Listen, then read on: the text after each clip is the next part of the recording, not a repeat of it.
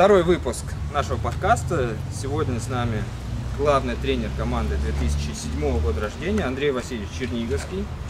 В бытность известный футболист на позиции защитника. Все верно? Нет.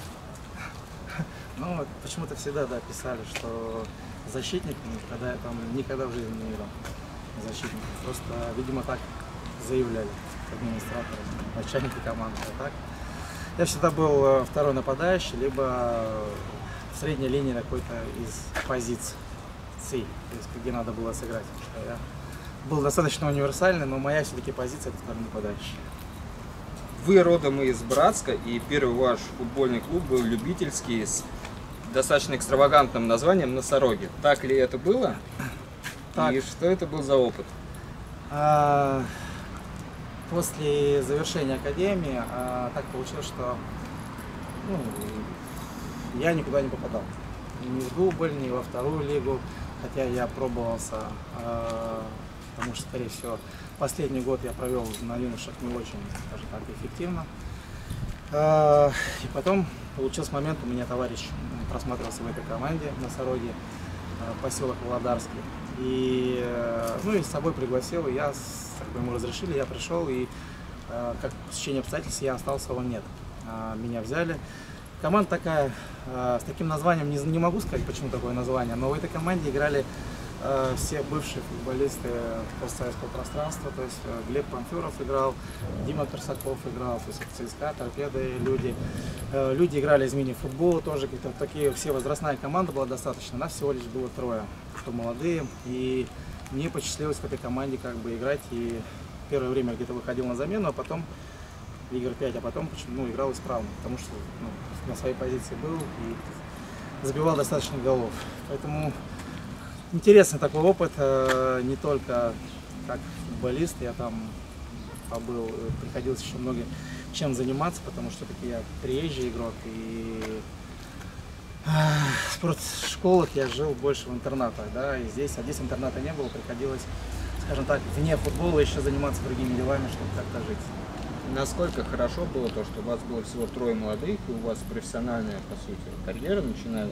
начиналась в команде, где очень много возрастных игроков вам подсказывали? Это хороший опыт, потому что, ну, я считаю, до сих пор это ничего не изменилось, это называется преемственность. Э, когда тебя старшее поколение направляет, как надо действовать не только на поле, но как вести себя в раздевалке.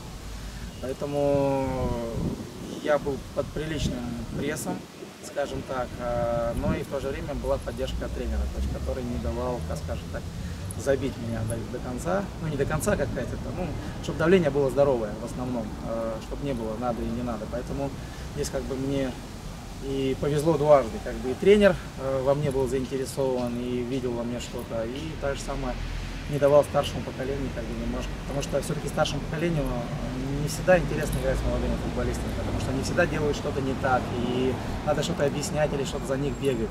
Тем более, если ты атакующий игрок, значит ты теряешь мячи, это значит кто-то за тебя должен отрабатывать. А вся команда достаточно, ну она не, не то что возрастная, там были 25 лет и 30 лет, да, но КФК все-таки такой был турнир, как ну, уровень второй лиги, наверное, как сейчас. Поэтому мы достаточно хорошо выступали, третьи были всегда в Ваш первый профессиональный клуб был, э, получается, мастер Сатурн? Нет, э, Сатурн ориентири. А. То есть это дубль после вот этой команды. Получилось так, что я в своей команде был э, лучший бомбардир. Там, насколько помню, мячей 16 я забил. В списке бомбардиров КФК я был четвертый, наверное. Четвертый, потому что была такая команда Мосгаз или Москва Трансгаз, по-моему, они первое место заняли. У них там два бомбардира, они там мячей по 30 что ли наколотили.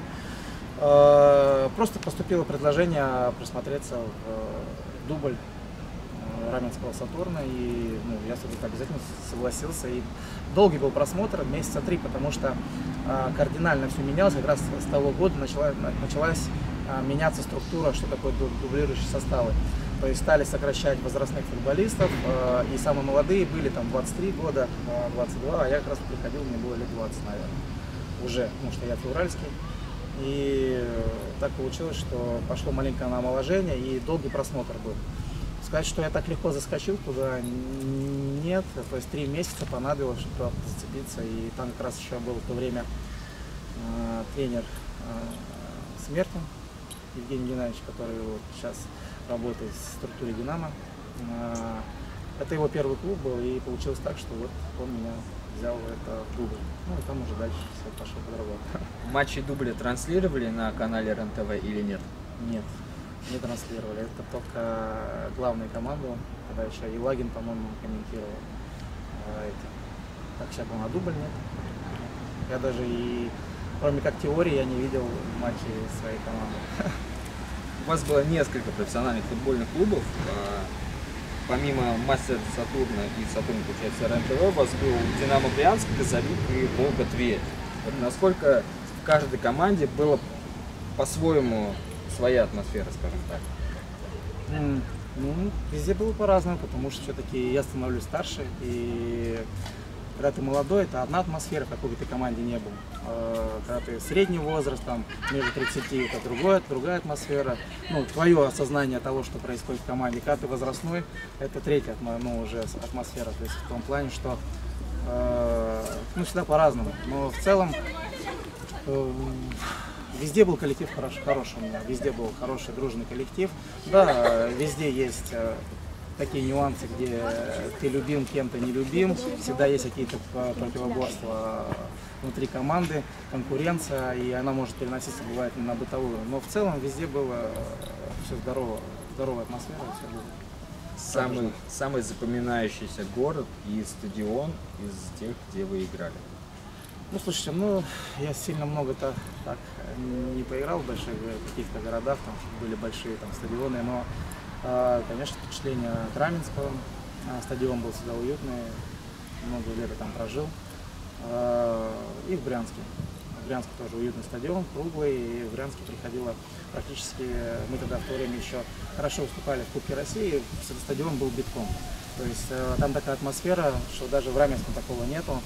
То есть он немножко возвышен, трибуна возвышена от поля, метр на 4 или на 5, и потом идет трибуны. И это такой ковшик, и когда там болеет, и на поле реально, а, как вот говорят, а, взрослое поколение, которое играло при 100 тысячах или где-то еще, когда не слышно даже 2-3 метра. Вот такая ситуация бывает там, когда мы играли на Кубок со Спартаковым, везде, там, ну, такие команды, когда приезжали, там, Ростов, ну, реально ну, не слышно и приятная атмосфера, которая гонит. И единичный случай, но я всегда как бы э, рад был этому, потому что это все-таки э, ну, приятная атмосфера. Я, ну, я не знаю, как если бы было так постоянно, как бы я в дальнейшем бы себя вел, потому что ко всему есть адаптация, потому что если смотреть на игроков премьер-лиги, которые играют, они к этому привыкли, и они даже на это не обращают внимания. А когда ты играешь редкие случаи, это, конечно, эмоционально очень ну, бодрит, даже если ты что-то чуть-чуть не готов, ты будешь бежать, трибуны гонят. То есть это приятная атмосфера. Два города у меня есть, вот Раменская и а, Брянск. Два Вы стадиона, которые мне ну, запомнились. Вы рассказали, как вы начинали свою игровую карьеру, а расскажите, как вы ее заканчивали? Ну, заканчивал как бы нехотя, а, в том плане, что я не смог а, скажем так, реализовать тот потенциал, который у меня был. Я не могу сказать, что я был супер там умный или какой там а, игрок, но достаточно обо мне хорошо отзывались те тренеры, где бы я не был, где я не находил, были определенные качества, которые мне все говорили, что я могу играть, а, мог бы играть в премьер-лиге.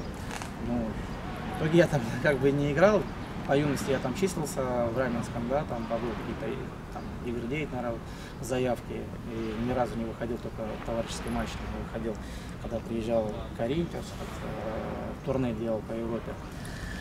Вот, и как бы вот это вот нюанс, что я всегда жил тем, что ну не сейчас, но всегда работал, пытался, хотел попасть туда наверх. И когда это не получалось, там какие-то травмы, не травмы, да, это уже следствие такое. И был момент, тогда я уже год не играл после газовика. То есть я сам ушел с газовика, у меня был действующий контракт, я ушел, решил решить вопрос с коленом, не получилось. Так получилось, так я ушел, и, и когда сам готовился, получил травму, ну, добил, как бы скажем, так себя так получилось. И понимал, что на год выбыл, и после года хотел вернуться, и понимал, что вот в Тверь меня взяли, ну, пришел на просмотр, как бы меня сразу взяли, видимо, еще на старых э, дрожжах, что где-то что-то мог.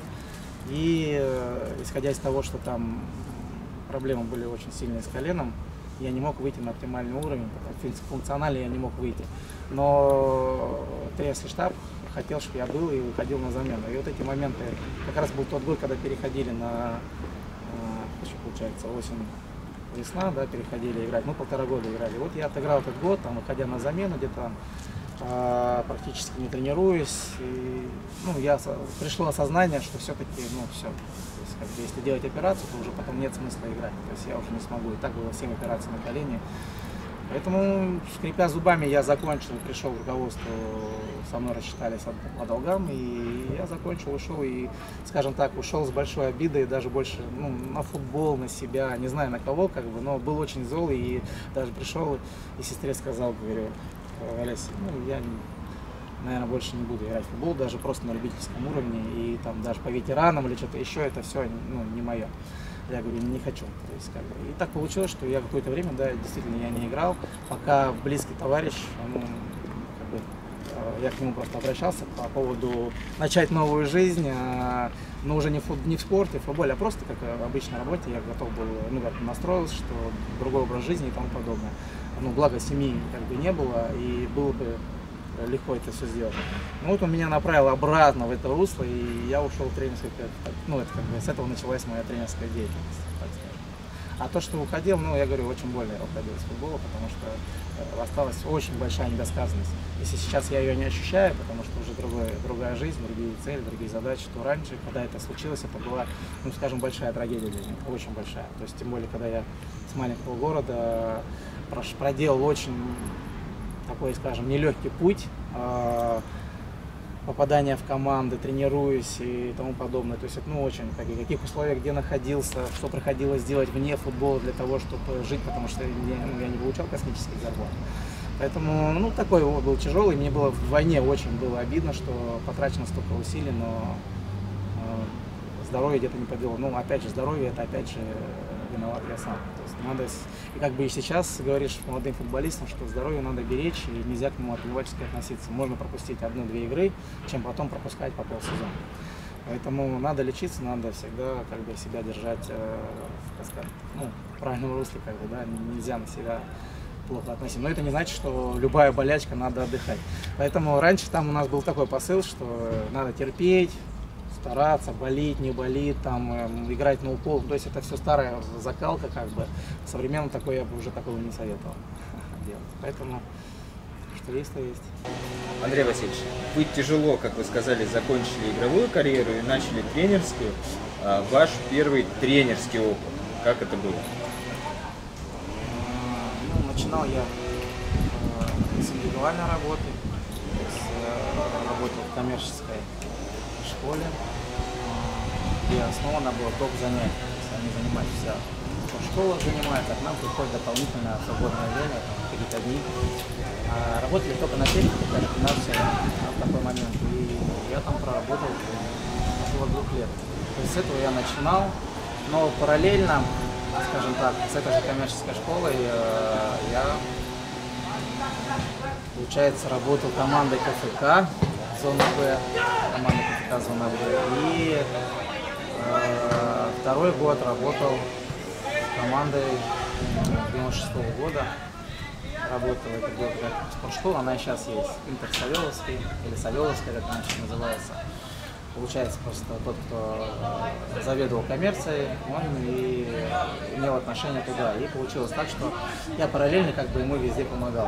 Проводил, он курировал состав, кто как где играет, а я занимался тренировочной работой. Скажем так, для меня какой-то это был пробник.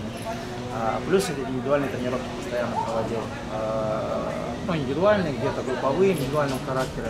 То есть это вот я начинал, и такой опыт, и вот я тогда даже уже когда очень, скажем так, втянулся вот в этот процесс тренировочный я осознал, что мне не хватает знаний. Ну, чтобы работать тренером, мне не хватает знаний. Хотя, когда заканчивал э, играть футболистом, и даже когда был футболистом, ну, я не видел в этом сложности, я видел только то, что задача набрать команду хороших футболистов, а все остальное не важно. Ну, то есть не то, что не важно, там квадратики, футбольчики и тому подобное то здесь я осознал, то есть был какой-то багаж у меня упражнений, потому что я, скажем так, уже с времен Раменского записывал, был тренер, который там у нас в дубле после коллектора тоже говорит, надо записывать тренировки, учиться, на будущее могут пригодиться. Ну и я как-то так на автомате просто записывал тренировки, а везде, где я работал, какие-то специалисты были. И, ну, вот какой-то багаж у меня был э, упражнений, я их просто применял. А зачем, куда? Ну, просто я применял к чему-то и шел, и потом только вот осознал, что я не могу, у меня была определенная идея, э, которая сейчас уже как бы ну, развил и знаю, как к ней подходить, как тренировать. А в тот момент я не знал, как это реализовать. Я понимал, что я не могу донести информацию, не, могу наиграть какие-то вещи, которые надо. Я не мог понять, ну, тяжело было понять, откуда ноги растут, скажем так. Пошел учиться лицензия С и, ну, и тому подобное. Ну, первый такой опыт, скажем так, а, я был в рутине, очень большой рутине, в том плане, что очень много работы, потому что коммерция, постоянно ты что-то тренируешь, кого-то разные дети, что-то делаешь, там плюс э, дополнительно, говорю, были, вот мы тренировали, э, в спортшколе тренировали, когда играли в третьей лиге, мы в итоге стали чемпионами э, выпускным годом. Ну, как не знать, если у нас были футболисты чуть посильнее приглашены, которые не играли где-то, но были приглашены, и мы за счет них где-то выиграли. Не то, что тренировочный процесс был. И вот еще тогда это мне дало немножко какой-то мысли на будущее, что что значит э, игроки на одном уровне, игроки на другом уровне, в чем разница. Поэтому такой хороший опыт был, рутинный. Как-то от этого все пошло. Сколько вам было лет, когда вы начали тренерскую карьеру? Наверное, 30 исполнилось. Вот прям 30 исполнилось, и вот я начал, потому что 29 я закончил. Или в 29, вот что-то 29 начал, по-моему, или в 30, это одно из них, я просто вот сейчас, сейчас не вспомню. Но это был 12 а, год, то есть в 11 я закончил, прям в конце года, да, и в 12 где-то вот с февраля месяца я и начал как раз, мне, сколько мне было, получается, в 12 году, 20, да, 29 лет. После этого у вас э, один из клубов, где вы тренировали, был армянский клуб Мика. Вот насколько вот этот армянский вояж в горы сильно отложился у вас в памяти? Очень сильно отложился, потому что скажем так, я уже получил определенный багаж а в юношеском футболе, я уже работал в клубной лиге. Так получилось, что после там, Царевского я перешел по рекомендации. А, это, в принципе, одна и та же сеть, примерно плюс-минус. В Строгино работал. А в Строгино было два отделения. Первое, одно, одно играло в первой лиге, второе играло в клубной лиге. И у нас получалось один, ты помогаешь в клубной лиге, а главный работаешь э, в первой лиге. И тот тренер, который главный на клубной, помогает в этом. Вот, э, то есть туда уже перейдя работать, опять старшие были возраста, потом были помладше меня там возраста, был какой-то определенный багаж. Плюс параллельно я тренировал команду КФК, э, Лазар такая была команда, она сейчас есть, только не КФК, но играет э, в ЛПЛ. И вот там была у них идея, это был потом, который был проект Арарат, вот здесь, это все примерно плюс-минус одни и те же люди.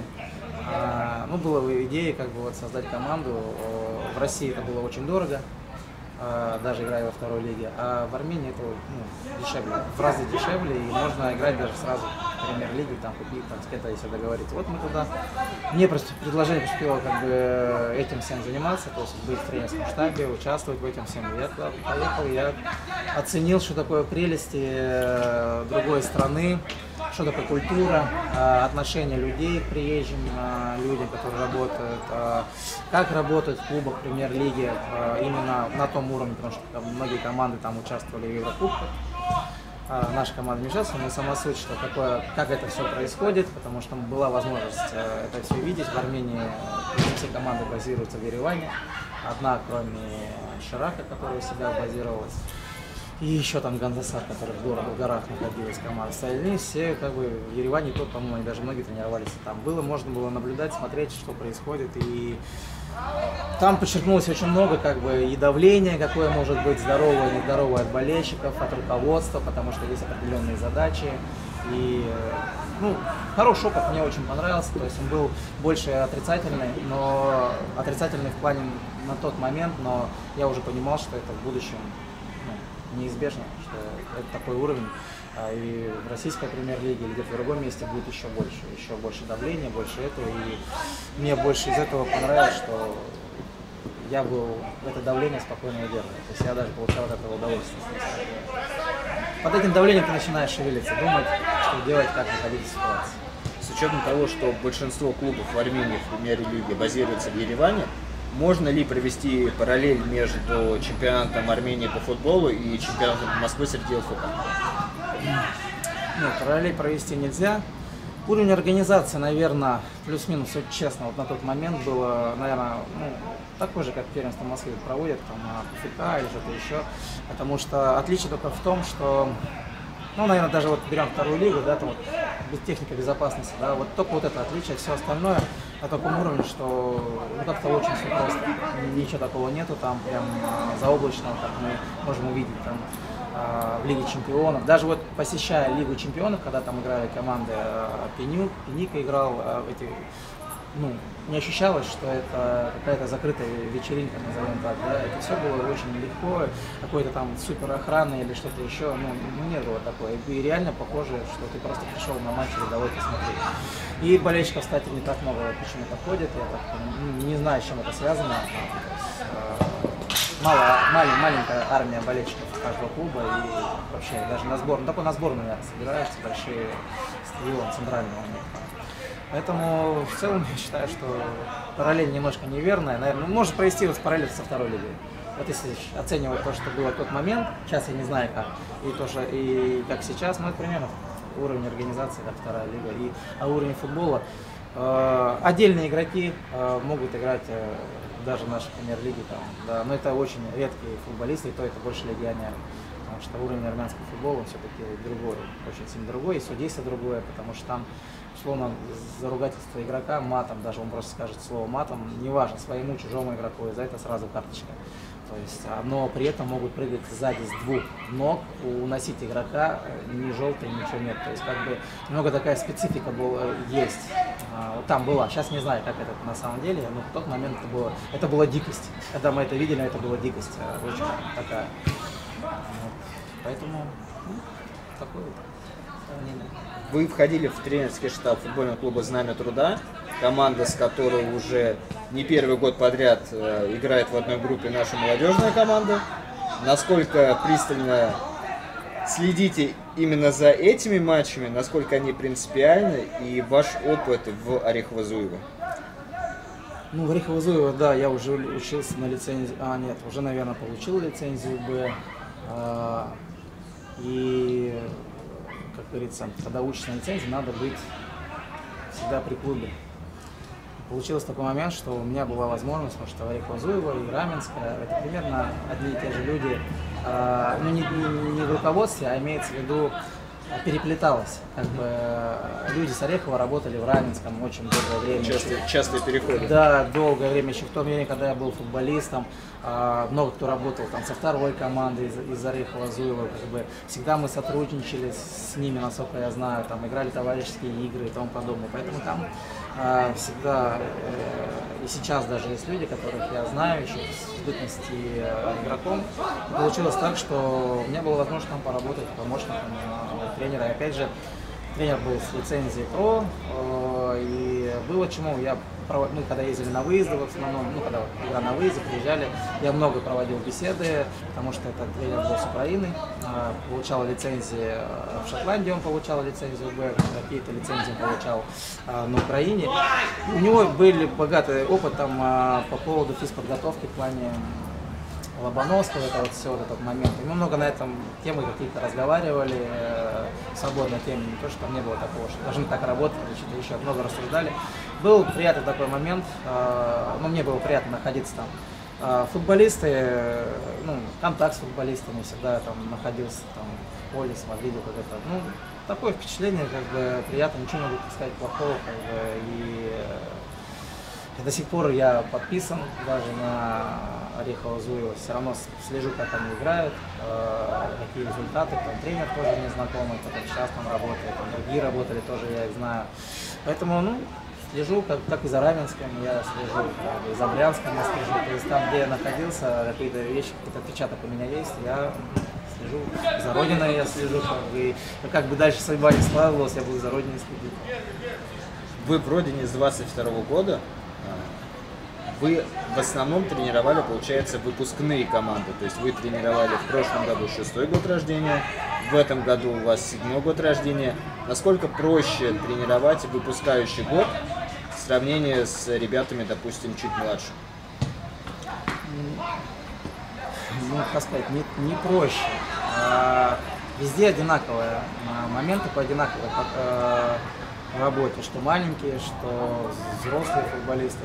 А в момент другом, какие футболисты, какие у них характер, какой им нужен подход. То есть разница только в этом. Просто чем старше ребята становятся, тем они, скажем так, э, более мнимые, более такие э, в себе уверенные, я все знаю, все умею. То есть сложность коммуникации в плане достучаться до ребят, что, что какие-то вещи они должны делать. Это потому что в профессиональном футболе это будет сплошь и рядом чтобы донести эту информацию, как бы не всегда это удается. Кто-то воспринимает это должный уровень, кто-то нет. Чем э, выше уровень, э, скажем так, мастерства на, на том этапе в команде у игрока, то есть мы не говорим про уровень мастерства, что он может играть там уже там профессиональный футбол, любой, любой лиги там или добьется больших Нет, именно в каждой команде всегда есть какие-то лидеры, да, там, а, которые превосходят в каком-то мастерстве, э, преобладать либо в обороне, либо в атаке. Вот они зачастую считают, что ну, как бы, они все умеют, все знают, и, и многие вещи они не нужны. И это как бы сплошь и рядом практика, она проходит, просто где-то это проходит более ровно, где-то очень скачково, где-то достучался, где-то нет, постоянно противоборство идет. Больше коммуникация. А все остальное, в принципе, сложности никакой нет, работает. Неважно, маленькие дети, взрослые дети, все упирается в коммуникацию, подход. А, нужно найти подход к игрокам. Вот и все. То есть бывает, что ты не можешь долгое время найти подход к игрокам. То есть, вот, допустим, если берем Родину, два коллектива сравнить, там, шестой год и седьмой, это два разных коллектива, а, два разных коллектива по уровню мастерства. А, и и, и подход и работа у них с ними разные. То есть одним надо было одно, этим надо другое. Даже в тренировочном процессе другие упражнения и все по-другому, потому что и мыслят они по-разному все. Ну, как бы вот, вот такой нюанс. И так же самое, если мы опустимся в восьмой год, девятый год, везде, вот, вот они разные эти команды. И разные, почему? Потому что это отношения ребят, ну, разные к своему делу. Вот и все. Один из э, ваших футболистов, которые вы тренировали, Артур Голубян, он вызывается в сборную Армении. Насколько тут у вас не перипетии, с учетом того, что у вас есть армянский опыт в качестве тренера?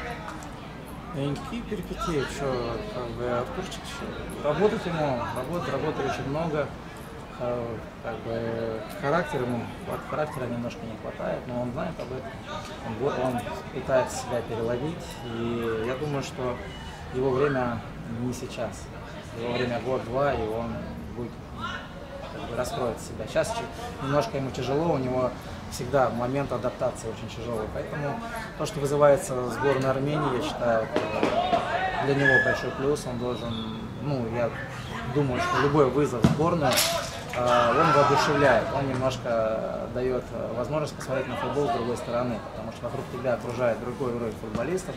Не могу сказать, какой уровень футболистов молодежной сборной Армении, потому что на тот момент, то, что я видел а, в 2015 году, а, достаточно неплохие у них командочки были, ну, в плане игры там и тому подобное, неплохие. Ну, э, опять же, дефицит хороших футболистов, но по факту они не, неплохо смотрелись. Как на сегодняшний день, ну, я не знаю, думаю, время идет вперед, прогресс должен быть, я думаю, э, ребята тоже не, не слабее, как бы есть ему там чему, чем сравнить, и в будущем это пригодится, вызов сборной все-таки, это, я считаю, что дополнительная мотивация. После прошлого чемпионата вы передали молодежной команде 4-5 э, футболистов, которые пытаются закрепиться или уже закрепились в составе. Насколько, скажем так, есть какое-то э, минимальное, минимальное число, которое необходимо передать, допустим, седьмого года? Или там намного больше кандидатов?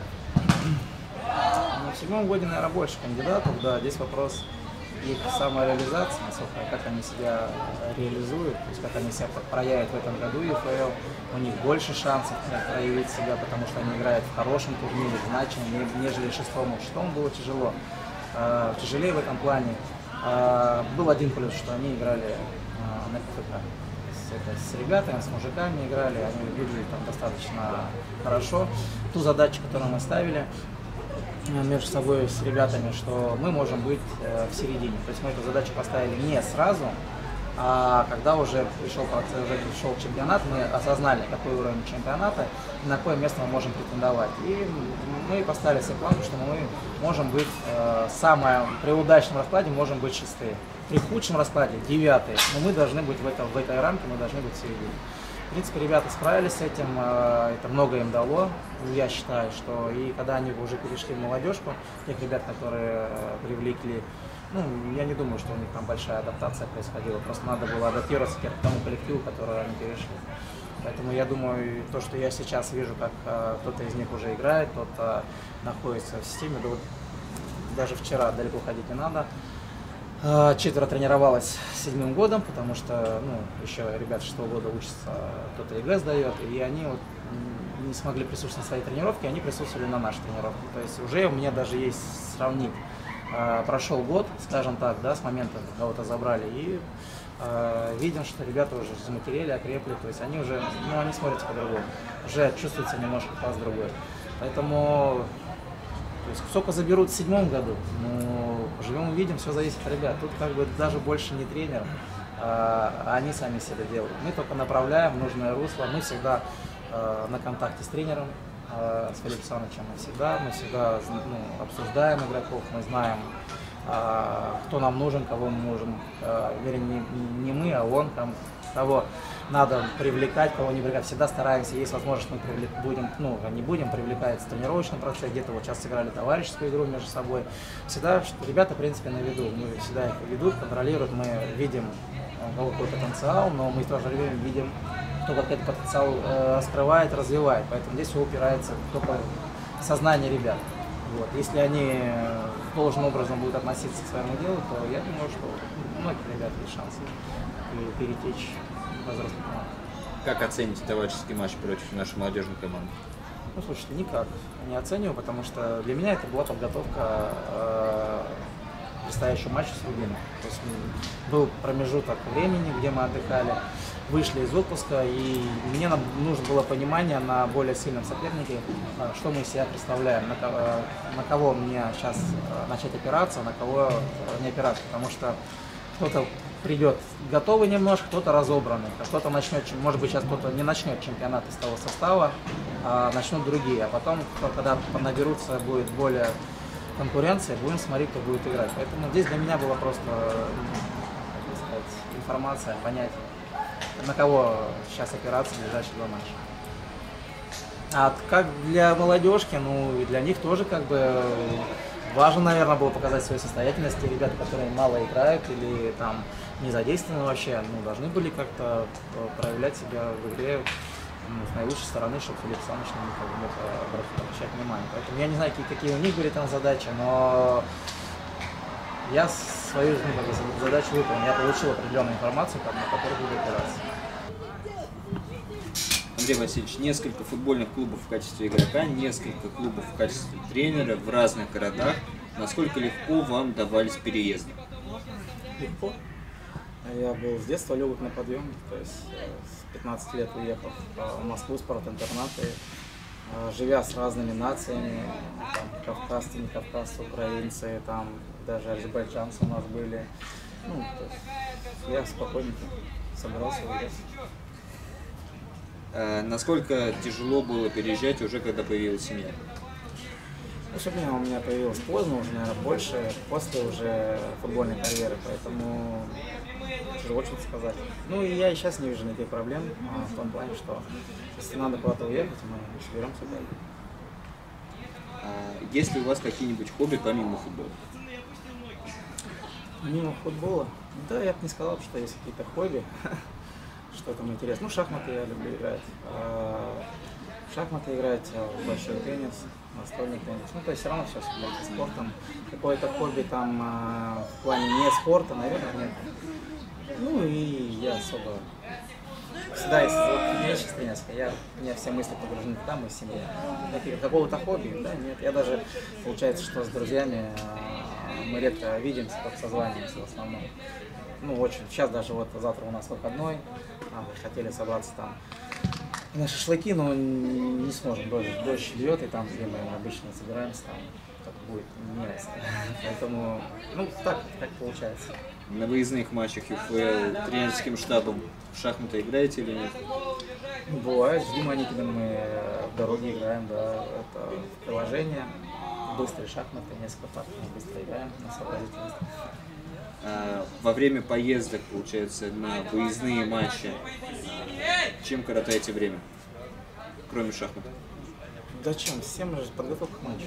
Все равно есть какие-то моменты, спрогнозировать, какие-то планы приподготовить, если уже даже есть план на эту игру, а, какие дальнейшие будут действия по следующей неделе, как соперники, то есть что-то смотришь, осматриваешь, то есть просто чем другим ну, не занимается.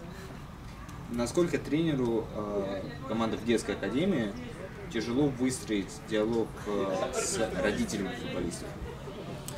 Значит, со старшими детьми в основном ты не разговариваешь э, с родителями. Это редкие случаи, когда они сами обращаются, звонят с какими-то просьбами в плане э, ну, помочь там какие-то справки или там отпроситься мы в отпуск заранее, билеты там, ну что какие-то вещи согласовать. А в целом, основном вся беседа с футболистами. Если какие-то вопросы, футболисты, в принципе, уже 15, 16, 17 лет должны решать сами. То есть подходить, и если что-то нужно, там, с учебой, не с учебой, а, должны уже решать с тренером уже лично, почему должны решать родители. То есть в этом возрасте, я считаю, 15, 16, 17 лет, а, люди должны конкретно понимать, что они хотят, и принимать решение, даже какой вуз они будут поступать. Надо ли им это, не надо. А другой момент, если они скажут, мне это не надо, я не хочу учиться, это как бы не, неправильный посыл. А они все равно должны куда-то поступать. Да? Там, чем они заниматься должны в, даль, в дальнейшем? Там, футбол, будут играть в футбол, а, ну, хорошо. То есть они должны принимать решение. Пойти налево а, или пойти направо, играть в шахматы или гулять с девушкой. Здесь такой момент, что они, с ними только беседа, и с родителями я так ну, особо контакта не имею. Только какие-то, просьбы. В завершение тоже у нас будет Андрей Васильевич, в завершении Блиц. Я называю фразу, вам ее продолжить. Всего шесть фраз. А, лучший выходной это? Это ничего не делать. А, любимая тренировка когда? Когда устаешь. Запоминающийся матч, если в нем забил много голов и был превосходен в игре. Я тренер, потому что... Я лучше. Если бы не футбол, то... То только футбол. Родина это... Любимый.